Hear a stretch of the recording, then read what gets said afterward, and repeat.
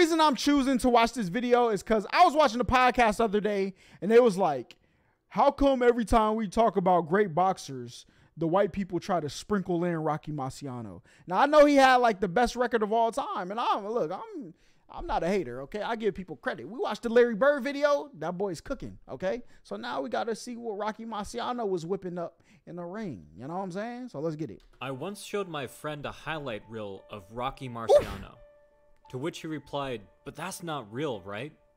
That was from an old movie. And looking at the footage, it's easy to understand his reaction. Rocky Marciano almost routinely knocked people God, out of the ring. Known as the Brockton Bomber, Marciano fought some of the Brockton- greatest heavyweights Brockton's of all Canada, time, right? And stands as the only heavyweight champion without a single loss on his record. Mm. Allegedly, he had to have a custom 300 pound heavy bag made for his training, which would help explain why 43 of his 49 fights were won by Knockouts? devastating knockouts. That's crazy. His achievements are all the more impressive when you consider that Rocky is a pretty unusual heavyweight, even for back then. At 5 foot 10, with arms slightly shorter than Manny Pacquiao's, Rocky was one of the smallest heavyweight champions ever. Holland, Michigan's Despite his from. size, he was also one of the heaviest hitters the division has ever seen. Put simply, Rocky's punches sometimes look like something straight out of a comic book. Marciano also had the insane cardio necessary to maintain this intensity all Oh. the way until the 15th round. If opponents 15 rounds. Oh nah. This, he got to be the goat. He got to be. Heavyweight um heavyweight undefeated. 15 rounds. That boy was cooking. Yeah, watch after that. This could last that long. Rocky threw so many punches so consistently that it didn't really matter if every single one hit. Even if his opponent had an iron guard, he would simply batter and bruise their arms until they lost all feeling and became rendered useless. Yo, he had to be on Canelo something, bro. Alvarez has Ain't used no the same strategy to great effect. While his limitless stamina He and got vibranium in them gloves. That, uh, that's what I'm going with, bro. He has to. bulldozer like punches made Rocky the quintessential relentless fighter. He was far from being a mindless slugger who just overwhelmed his opponents with ferocity and brute force. Marciano's style was unorthodox, yet highly intelligent and very methodical. A lot of people ask how Rocky was so successful taking so much damage. A much better question to ask would be how someone so recklessly aggressive could take so little damage. A Mm, few videos true. ago, we examined how Thomas the Hitman Hearns was the perfect template for taller, lengthier fighters. Likewise, Rocky Marciano Boy is the perfect template for a shorter and stockier fighter. So today, we'll explore the ways Look how he's Rocky closed swinging. the distance, landed his incredible knockouts, and bullied his often larger competitors without getting bullied himself. From the moment the fight started, Rocky balanced aggression with nuanced defense. Almost every punch he threw had knockout potential, Bro, didn't it in like Fight Night round something? One of them Fight Night games on like the original Xbox. Rocky Marciano, he had like the one hitter quitter. Like he was the only character that you could hit somebody one time and knock them out. I seen it. It happened to me. I'm pretty sure. But almost every punch he threw was brilliantly set up in order to remain as safe as possible. This is especially impressive because Rocky was the embodiment of throwing your entire body weight into every punch. He would use exaggerated head movement to create extra distance, loading up his shots and putting a lot more momentum into his punches. Mm. He's swinging like he's trying to hit a home run with their While most bruh. fighters prefer to advance with their front foot first, Rocky preferred to do the opposite, moving his back foot to his front foot. This is very similar to the footwork used by Smokin' Joe Frazier. Like Frazier, it was not a very subtle or nuanced step, but it did allow Rocky to cover a lot of distance and put a lot more power behind his punches. Taken together, Mm. Did y'all Rocky's see the uppercut, exaggerated head movement and unusual shuffle step set up the ideal mechanics to unleash the two most powerful punches in boxing in the most powerful way possible. These punches were the right overhand and lead hook. To set up his overhand, Rocky would lean back while shuffling into an exchange. Another oddity, this movement pattern allowed him to advance while remaining defensively responsible. Mm. If his opponent tried to catch him with a jab or cross, Rocky didn't need to change his position drastically to respond. He could simply ride the punch back to reduce the impact, or shuffle away to a safe position from his crouch, as Mayweather likes to do. True.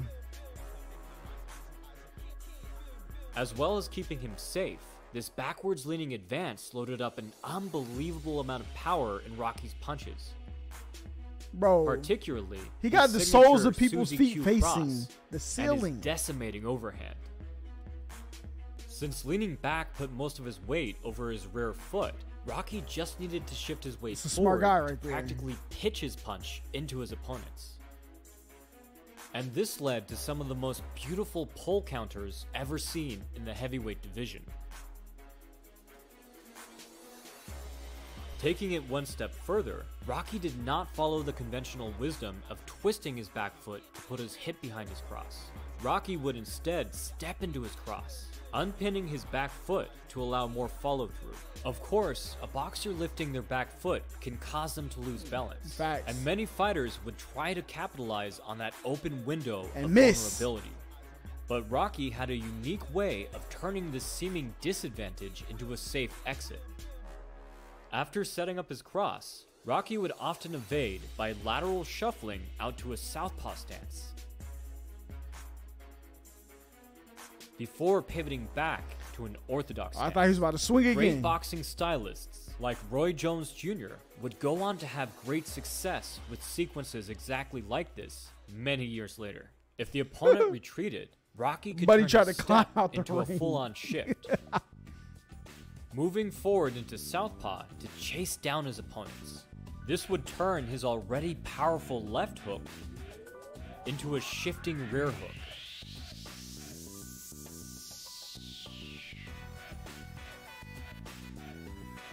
Speaking of, Rocky's hook was just as devastating as his rear hand. Rocky would usually begin to set this up in the same way as his overhand, with deep, exaggerated. He's like walking down a person. and momentum. Instead of leaning back into an overhand, he would weave to the inside, masking the beginning of his hook and building up momentum. Besides setting it up with an extremely deep inside crouch, the thing that made Marciano's hook unusual was that he often threw it as a gazelle punch. What the heck is a gazelle punch? Like Frazier, Rocky would spring up out of his crouch to shuffle forward as he straightened up and threw. This not only covered more distance, but it also added a lot of weight to an already powerful hook. Floyd Patterson would popularize this movement many years later. Okay. Check out my video on him if you'd like to learn more.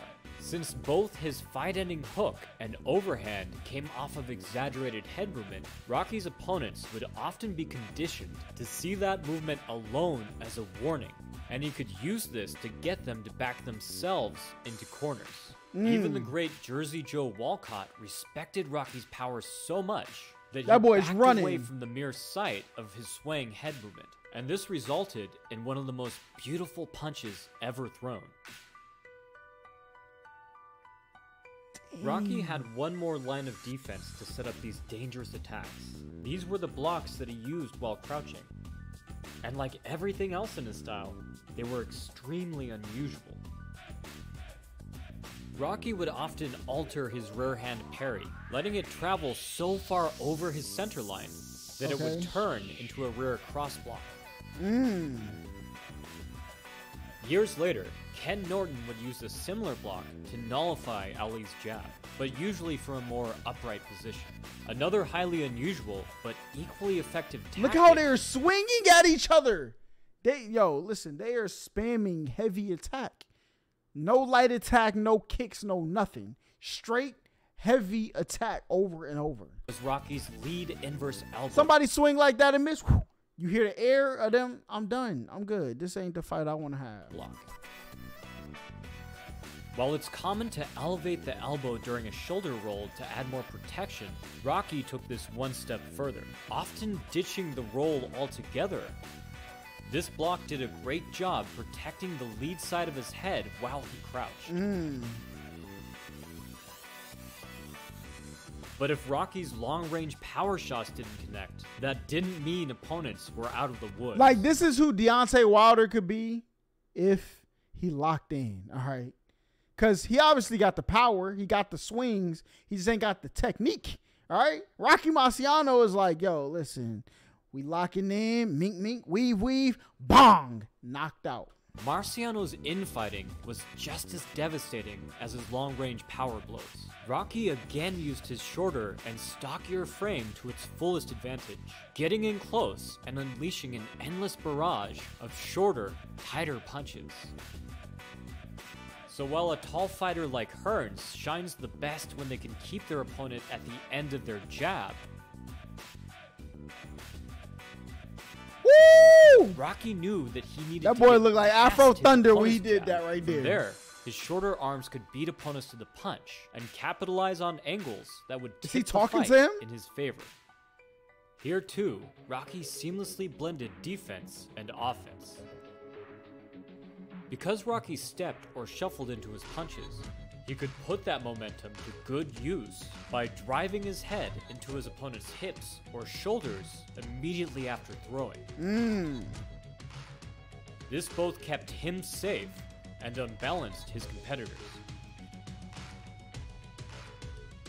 Notice in this clip how Rocky uses the momentum from his stepping overhand to crash his head into Ezzard Charles' hip, smothering Charles and nullifying his counter before it can happen. Yo, that's low key, very smart. Rocky could But all it takes is for one person to back up a little too much, uppercut, you're cooked. You look a uppercut straight in the face while your head's down, you going into the upper room like it's Mortal Kombat, all right? I done seen that happen. I done seen some people get caught with a knee like that. They go to dive down, that knee come up, mink, you get hit with an uppercut like, oof, oof. also use these head positions to manipulate his opponent's movement. Once his head was safely pinned on his opponent's shoulder or hip, Rocky would push forward to steer them off balance, or force them to back up. If opponents tried to counter wrestle, Rocky would rake his head up across their chest, pushing their chin up to leave them open for devastating headshots.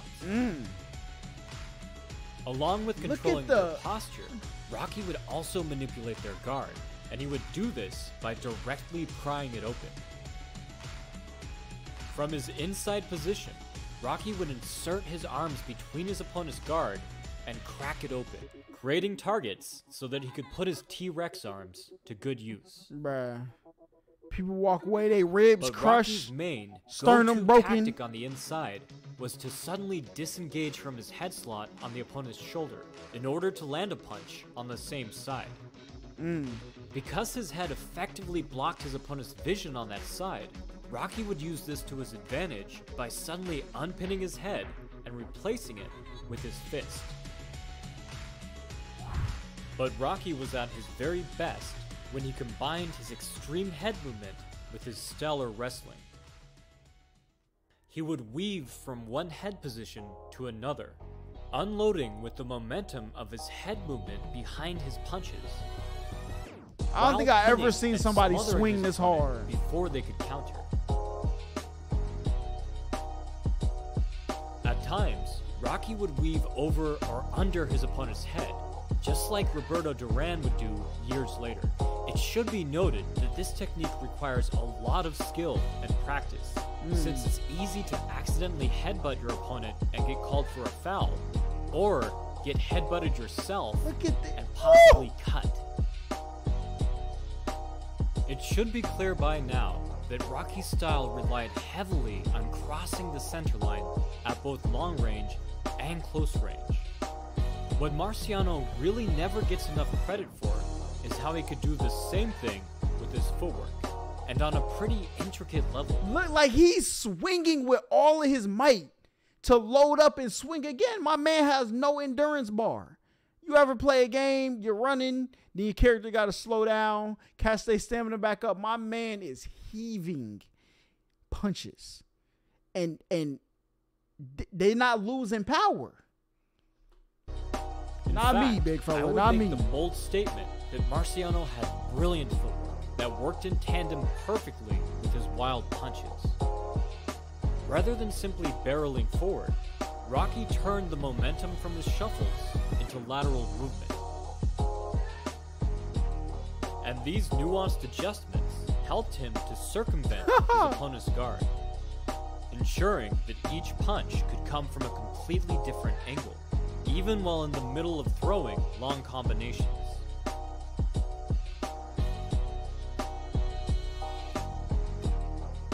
Look how he's loading up. He's like jumping into the punch. Bro, this man has no regard for a human lot life. Marciano's skill has been historically underappreciated. Mainly, I think, because his style was so unusual that it's not obvious right away what he was doing or why he was doing it. Even those that praise him tend to focus on his impressive knockout power and cardio, not looking far beyond that. But Rocky proved beyond a shadow of a doubt that his style had merit. He was a powerhouse, a stylist, an infighter, and a thinker. Marciano is well worth studying, even today. Facts. For more information on footwork, Uh. defense, and power, you can check Yo, out that boy Rocky Ma- Ma- Marciano is one of them. Okay, he's one of those. All right. I always heard the name. Uh, I think Lil Wayne said it in the song, like Rocky Marciano. Drought, ain't it? How to, what I know? You been getting that cash like Sonny Bono. Ch- I started high with two O's, just like Ohio. You know what I'm saying? Y'all know the song, right? It was on like Father Like Son. But um, what was the Rocky Marciano line though? I don't remember. But what I do know is that was the first time I heard of who he was. Then I think Fight Night, the one hitter quitter, I seen that happen. And then I always heard brought up till like last week. I heard on a podcast, it was like, why they always try to sprinkle Rocky Marciano into the wrestling debate? I mean the the boxing debates. I was like, let me go see a video about how good Rocky Marciano really was, and he was one of them.